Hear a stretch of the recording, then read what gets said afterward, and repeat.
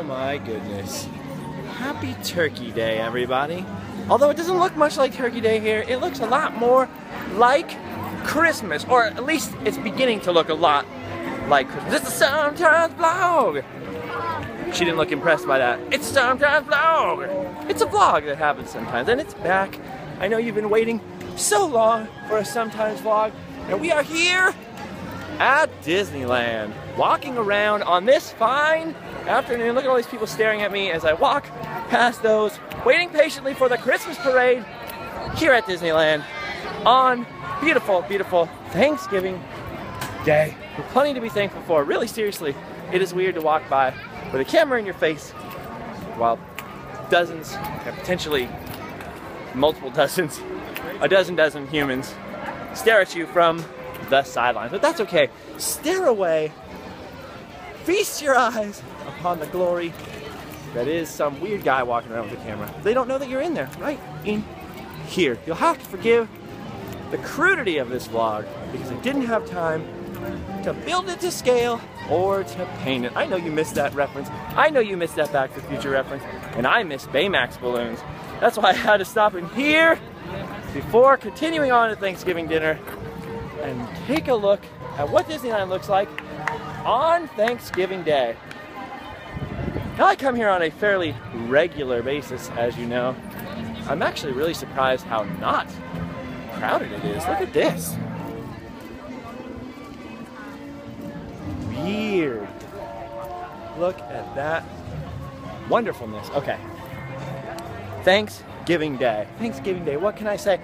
I have so much to be thankful for.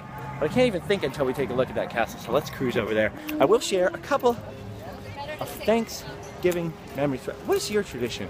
Are you going to have Thanksgiving dinner? Maybe you've already had Thanksgiving dinner. A lot of people have Thanksgiving dinner at like noon. To me, that's more of a Thanksgiving lunch or a Thanksgiving brunch, not a Thanksgiving dinner. I like to have my dinner after the flag lowering ceremony at Disneyland. I really don't have a lot of Thanksgiving traditions because I spent years and years on tour with a band. So I've had Thanksgiving in San Antonio. I've had Thanksgiving all over the place. Kind of a weird mishmash of Thanksgivings. Look at that.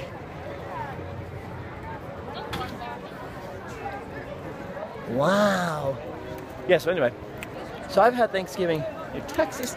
I've had Thanksgiving all over for years, actually. My ex-wife's family would go out of town. My family would go out of town. So what I would do is hang out alone in my underwear, play Halo, and at the end of the evening, walk myself to a nearby donut shop. So for like three or four years, that was my Thanksgiving tradition. This Thanksgiving, going to my grandmother's house. Tyler Evans, rock journalist, will be there, and the fam. So we're gonna have a little bit of a Thanksgiving family dinner. It's weird because when I was a kid, Thanksgiving seemed a lot more important of a day. What I mean by that is, you know, the whole family would get a bunch of food and they'd get in the car and you'd drive to like your great aunt's house or something and there'd be a bunch of people there and cousins that you don't really remember and all kinds of activities going on. Oh, hold on. But then when you get older, and you can kind of just do whatever you want on Thanksgiving, pretty weird. I will say this though, Thanksgiving, here's a weird memory for you. This is maybe not very positive, but Thanksgiving is the first time I ever faced my own mortality was on a Thanksgiving day. We went to my great aunt Ruth Ann's house, and she had cooked a heck of a turkey, and I thought I wanted some dry turkey with no gravy, right? Okay. Look at that. Lovely. Thanksgiving turkey with no gravy. So I'm eating it. I stepped out of her front door and she had a little step there. Not like a full step, but like a half a step. I forgot it was there. So as I'm taking a bite of turkey, I can walk outside by myself, no problem. I started choking on the turkey. I was maybe eight or nine years old. I started choking on the piece of dry turkey. I could not get it out. I could not breathe, no air in or out. No, I could not make a sound. I turned around. I fumbled at the door trying to get someone's attention. I'm gonna die, I'm choking. Could not get anyone's attention. Eventually it came out. But the point is, Thanksgiving Day was the first day I realized, as a child, I'm going to die someday. So there's a weird Thanksgiving memory for you. So I am thankful that I did not die by choking on a piece of turkey. Ready? Look at those people making happy memories. And I am thankful that I'm here at Disneyland today. And most of all, I want to say I'm very thankful for all of you, not just the Sometimes Vlog watchers, but everyone who has supported what we're doing over at LiveFastDiePoor.com and all the crazy adventures that we've been having. Random Land, the Sometimes Vlog, Tyler and Jeff, crazy articles over there. And also, everyone who's purchased fine products from LiveFastDiePoor.Spreadshirt.com, such as these fine Random Land t-shirts. It's been a pleasure and a privilege and an honor to meet many of you this year and have all your support for us doing all these creative, wacky, positive things. And I'm very, very thankful for all of you who have joined me and helped me to the quest for positivity. There's a lot to be thankful for, actually. You know, gratefulness is the number one way you can change your attitude. Literally everyone, from the ancient Greek philosophers all the way down through history to every modern self-help chicken soup for the soul book in the cash register aisle thing at Kinko's, they all have one universal truth in them, which is that gratefulness, finding things to be grateful for, even in the darkest of times, is the best way to retrain your mind to think positive. There's always silver lining, there's always something to be grateful for. Even when you can't find anything to be grateful for, you can be grateful that suffering and hard times produces character and that they can't last forever. So, always something to be grateful for.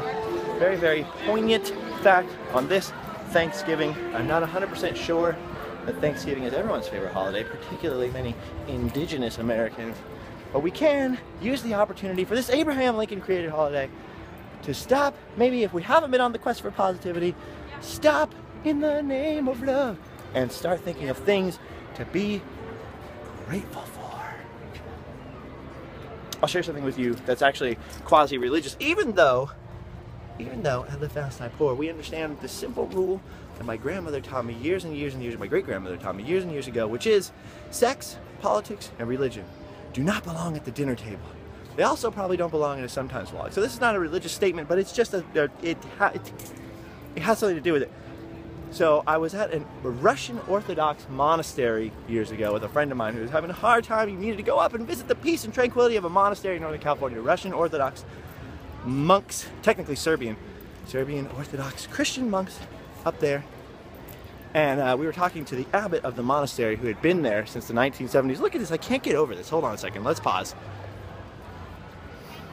He had been there since the 1970s up on this mountain, and I was just quietly absorbing all the things that he had to say about peace and harmony and living up here in the mountains and all this different stuff and all his reflection and prayers and all the things. And my friend asked him a question about something about how he just never felt right. He never felt positive all the time, and sometimes he got discouraged, and that he didn't think that God would want him to be discouraged. And the monk, the abbot of the monastery, said something I thought was very interesting, which he said, these are his words, he said, Christianity isn't about a feeling, it's about standing in front of your Creator, no matter what the circumstances, with a grateful heart. That stuck with me for years and years and years and years. And maybe you're not religious at all. Maybe you have a completely different religion. That's totally okay. Absolutely no judgment and nothing but love from me. But I thought the principle of the thing that life isn't about how you feel all the time, but it's about taking whatever circumstances you're in and trying to stand humbly in front of God or the universe or yourself with a grateful heart, thinking of all the things you can be grateful for I like it. I like it. It makes me positive in a weird, strange, I can't explain it way. That always made me positive. So there, sharing a little bit of a personal story with you all from this experience I had on the mountaintops one time. So anyway, here at Disneyland, taking a wander on Thanksgiving. I'm about to go to Thanksgiving dinner. My phone has been acting weird, so if it cuts off the vlog early, I apologize. Make sure you subscribe for some more future Sometimes vlogs. I haven't been around a lot lately. The reason why I haven't been around a lot lately is because I've been in a horrible bad mood. I kept getting these weird fevers. Went to the hospital last week. Could not figure out what the heck was going on. They were saying it was sinus infection. Yeah, I had all this weird headache stuff. Well, it turns out it was more of a dentistry problem. So I went to the dentist. I have a horrible, huge, painful abscess under an old crown And so I have some antibiotics and medication for that. So that should be getting a lot better. But that put me down. That put me down like all week. I had a bunch of stuff to work on and catch up on. We got a new Random Land posted, DCA Christmas Wonders. But uh, yeah, that put me down for a while. I was feeling pretty negative. I was thinking, I'm not in a bad mood. There's no real reason for me to be in a bad mood compared to all the reasons I had to be in a good mood. But yeah, it turns out there was a horrible, painful infection in my jaw, down my neck, in my nerves, up into my head, brain area. And uh, yeah, it explained a lot of things. So that is being taken care of. I'm feeling a heck of a lot better after a day and a half or so of antibiotics. Amoxicillin will work wonders for you if you let it. Anyway, very thankful. A lot of bad stuff happened this year. But that is okay because I realized that standing on the other side, well, mostly on the other side of a lot of bad stuff happening to me during this fine year of 2014, that a lot of it is really for the best. You sometimes you got to get a little distance and a little perspective before you realize that some of the bad things aren't so bad after all in the long run. Look at this. I'm thankful for this. No longer in dry dock, no longer being repainted. The Mark Twain River. Look at that. Sunset over the rivers of America. And look at that. What a happy bunch. Yeah, it's really not crowded here. The lines aren't that bad. There's really not that many people. I've been here on New Year's Eve. New Year's Eve is a little bit of a kerfuffle. You have to stand in line to walk through the walkways. It is very, very crowded here. So it's pretty cool. This is the first time I've ever been to Disneyland on Thanksgiving Day. It's looking pretty wonderful. Maybe next year I'll come here and have popcorn for Thanksgiving dinner. Right now I gotta save room for some gluten-free turkey and mashed potatoes. I'm actually kind of late to Thanksgiving dinner, but hey, it's for a good cause because you and I, we need to spend a little moment together. I have been painting again. We've actually been working on a lot of projects, writing some scripts for some secret projects. Tyler Evans, Jeff Einbuck have been cranking out some scripts. I just did a story treatment for a short film we're hoping to work on with our cohorts, compadres, and partners at Utmost Studios. They have an Instagram, Utmost underscore studios on Instagram. Check them out. Go follow them on there. They haven't posted too much. I don't think they see the, the purpose of it yet. They'll catch on. They'll catch on. Anyway, look at that. Yeah, so we've been working on all kinds of projects for 2015, which is why sometimes vlog has sort of suffered a little bit because I was trying to edit Random Land. At the same time, we're trying to take all these meetings, go to the Combat Radio Christmas fundraiser, having a horrible abscess, which is getting better, and doing all kinds of stuff. So we've been really busy and crazy. Definitely thankful for your patience and thankful for your patronage, your wonderful donations. We are saving up to go. Ah, I made it just inside of the tape. Saving up to go to Tombstone, Arizona. Did I just let the cat out of the bag? I've hinted strongly at that before. Tombstone, Arizona to go do some random land filming, hopefully just after or just before Christmas, one way or the other. It'd be kind of weird to film Tombstone with a bunch of Christmas decorations around. I wonder what Tombstone looks like at Christmas. The town too tough to Christmas. Anyway, I have no idea what I'm talking. Clearly, I'm losing my mind. I was actually up all night last night finishing that new Random Land, and then uh, the, the pain kind of came back. I was thinking, I don't want to take a bunch of medicine right before I pass out. I'll fall asleep, I'll fall asleep. I did not fall asleep for a long, time. Got up, figured, I'm awake, might as well go to Disneyland all day. Got up, took some ibuprofen. As soon as that settled in, I felt very sleepy and fell asleep for most of the day. So, plenty of work to catch up on, plenty of projects and things going on. So make sure to go to their website, livefastdiepoor.com. They have all kinds of articles, new artwork, crazy things coming up in that space. Facebook.com slash livefastdiepoor. Of course, livefastdiepoor. I can't talk. Instagram, livefastdiepoor. And my Instagram, which is Justin Scarred. All one word, no spaces. Look at that. That's about it. That's all I could. That's all I could think of to catch you guys up on. We've just been really, really busy working on a bunch of stuff. It's funny because sometimes you don't see the end result. The sometimes vlog is cool because you come out a film.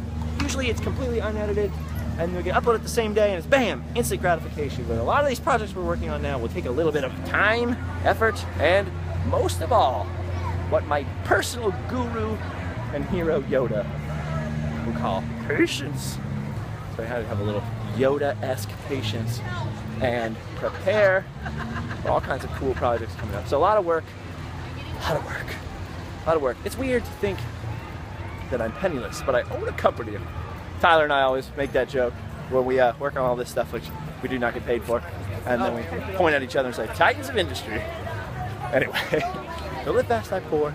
Very thankful for all of you who have supported and appreciated that we're trying to cover things that we think are positive, combat a little bit of the cynicism in the world. So Thanksgiving is a perfect day to say hello and say thank you to all of you wonderful people who have made 2014, despite a lot of weird personal circumstances, maybe one of the best years of my life. So thank you and enjoy your turkey or your tofurkey or maybe your ham. Can I just say something? Can I say something a little negative? This is not super positive of me. I realize that because there's probably a lot of ham lovers out there.